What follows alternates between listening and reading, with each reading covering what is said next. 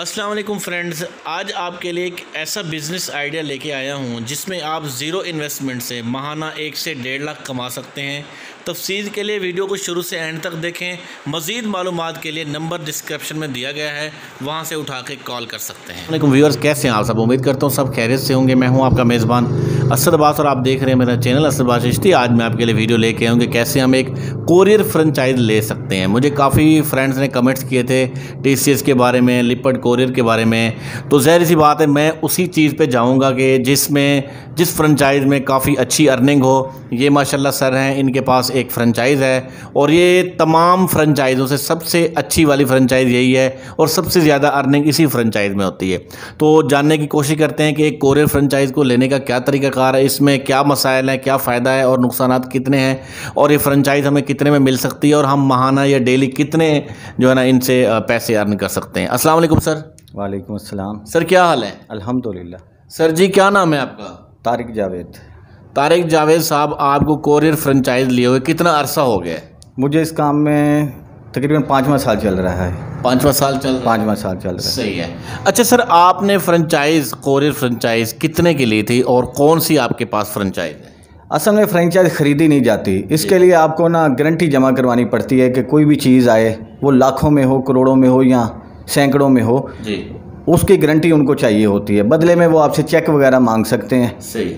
बस इतना ही है इसके अलावा एज ए सिक्योरिटी कोई अमाउंट नहीं होती। नहीं नहीं एज ए सिक्योरिटी कोई अमाउंट नहीं होती। अच्छा इसमें आपको फ्रेंचाइज की कोई फ़ीस पे करनी पड़ी थी? इस आ, फ़ीस नहीं होती इसके डेली चार्जेस होते हैं। वो अच्छा। आपकी डाक पे डिपेंड करते हैं भी कितने हैं। जी सही हो गया। अच्छा सर इसको लेने का तरीका क्या क्या है कि एक फ्रेंचाइज हम कैसे परचेज कर सकते हैं?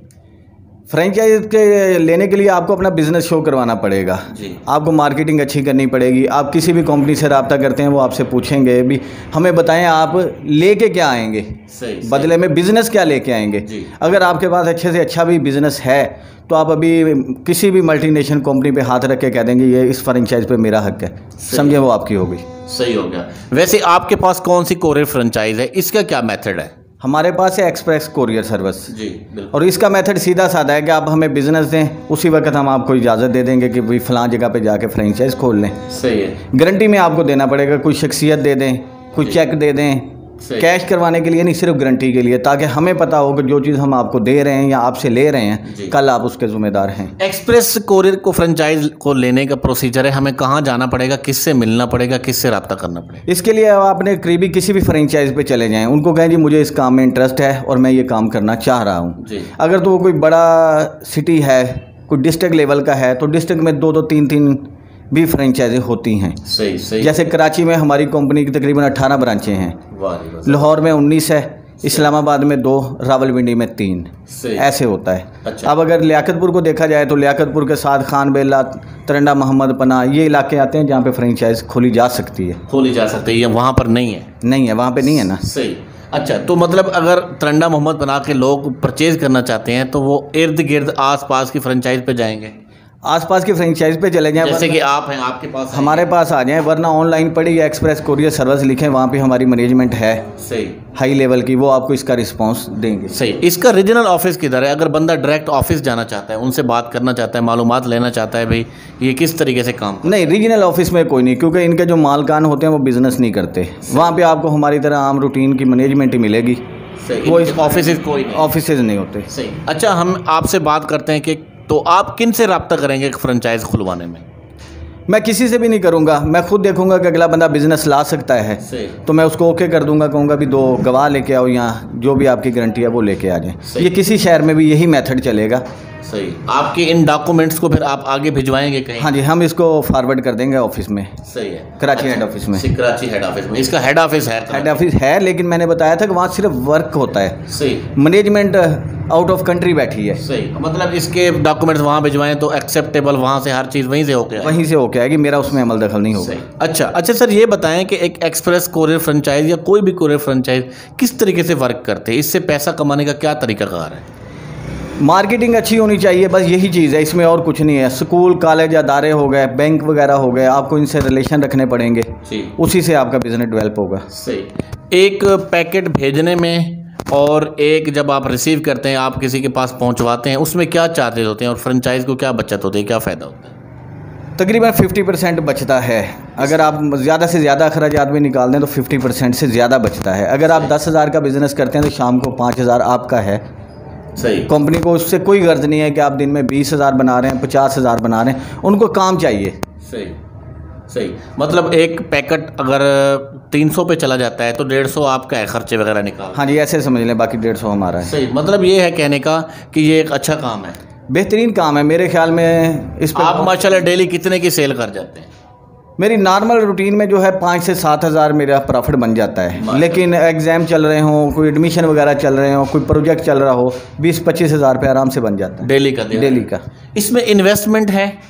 नहीं इसमें कोई इन्वेस्टमेंट नहीं है। ज़ीरो इन्वेस्टमेंट से ये फ्रेंचाइज काम करती है? ज़ीरो इन्वेस्ट फ्रेंचाइज आपने क्रिएट करनी है। सही। जो कंपनी की डिमांड है कि भाई ये इतने आपके पास लड़के होने चाहिए इतना स्टाफ होना चाहिए ऐसे शॉप होनी चाहिए ये चीज़ें हैं बाकी नहीं। सही। अच्छा इस पर क्या खर्च? कितना खर्च हो सकता है? आ, मेरे ख्याल में इस पर अगर ज़्यादा से ज़्यादा भी लगाएँगे तो दस हज़ार मेरे ख्याल में बहुत है। फ्रेंचाइज के लिए? फ्रेंचाइज के लिए। सही है।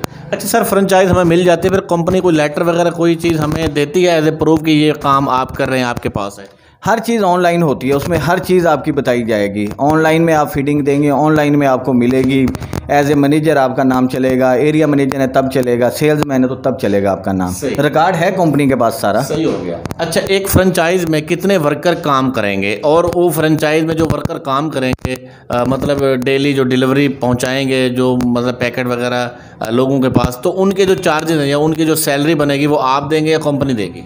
इसका दो तरीके हैं। एक तो है कि अगर आप फ्रेंचाइज देते हैं तो फिर आप भी कंपनी के मुलाजम ठहराए जाएँगे। सही बिल्कुल। ठीक है। ऐसी बात है क्योंकि फ्रेंचाइज का मतलब ये होता है कि सर्विसेज़ उन्हीं की होती हैं। हाँ जी बाकी आप नहीं करना है। अ, अमले की तनख्वाह भी आपने निकालनी है। जी जी। अखराजात भी आपने निकालने दूसरी सूरत में ये है कि भी आप अपने लड़के खुद रखें। जी। जो भी आप कमाते हैं उनमें से लड़कों को भी दें खुद भी रखें। सही। उसमें ये है कि आप कम लड़के रख के भी चल सकते हैं। अगर आप कंपनी के हिसाब से चलते हैं तो फिर तकरीबन चार। चार लड़के होने चार लड़के होने चार लड़के को आप लड़कों को आप कितनी सैलरी देंगे? हम जो अपने पास दे रहे हैं मेरे पास मुख्तलिफ़ लड़के हैं। कोई पंद्रह हज़ार ले रहा है कोई अठारह हज़ार ले रहा है कोई बारह हज़ार ले रहा है। अब चार लड़कों को ऐसे पंद्रह की है एवरेज भी लगाएँ तो ये साठ हज़ार बनते हैं महीने के। बेशक तो बनते हैं। साठ हज़ार निकल आएँगे। नहीं ये साठ तो कुछ भी नहीं इसके अलावा एक्सपेंसेस हैं जो हमारे निकलते तकरीबन डेली का ऑफ़िस का एक हज़ार का खर्चा है। उसमें क्या एक्सपेंस है सर जी? ट्रैवल करनी पड़ती है पूरे शहर में। लड़कों ने घूमना है डाक तकसीम करके आनी है। सुबह पिक करके आनी है। गाड़ी दो टाइम में गुजर रही है जो गाड़ी में लड़का जा रहा है उसके ड्यूज़ देने हैं। सही हो गया। मतलब ओवरऑल कितने एक्सपेंस हो जाते हैं? एक आपके ऑफ़िस का खर्चा है और साठ आना जो है ना ये तकरीबन नब्बे हज़ार बनता हाँ नब्बे हज़ार बन गया। और नब्बे हज़ार को आप करके देख लें कुछ भी नहीं बनेगा। नब्बे हज़ार का आप तीन से चार दिन में बिज़नेस कर सकते हैं। अच्छा नब्बे हज़ार रुपये का डेली का ऐसे महीने का खर्च है। और माहाना कितनी आमदनी हो सकती है? तकरीबन डेढ़ से दो लाख रुपए। माहाना साफ़ सुथरी। साफ़ सुथरी। तो जी व्यूअर्स यहाँ पे फाइनल क्वेश्चन ये बनता है कि अगर हम ये बिज़नेस करना चाहें, ये फ्रेंचाइज लें तो इसमें कोई लॉस के चांसेस तो नहीं है। लॉस के चांसेस तभी मुमकिन है अगर हम बेहतियाती करते हैं, कोई पैकेट वगैरह इधर उधर हो जाता है, गुम हो जाता है तो उसके चार्जेस हमें पे करने पड़ते हैं। अदरवाइज़ इस बिज़नेस में कोई लॉस नहीं है। और ये फ्रेंचाइज ज़ीरो इन्वेस्टमेंट से शख्सी ज़मानत पर किसी, आप किसी, कोई बंदा आपकी ज़िम्मेदारी दे दे तो चेक बेस पर या किसी शनाख्ती कार्ड की कॉपीज़ वगैरह पर ये फ्रेंचाइज मिल जाती है। तो नंबर जो है ना, मैं डिस्क्रिप्शन में दे रहा हूँ, मज़ीद मालूम के लिए आप इन भाईजान से रबता करें। तो और ये बड़ा कमाल का बिज़नेस है और इससे एक डेढ़ लाख कमाया जा सकता है। तो कारोबारी हवाले से ये वीडियो पसंद आई होगी, आप लोगों को पसंद आई हो तो चैनल को सब्सक्राइब करें, वीडियो को लाइक और शेयर करें।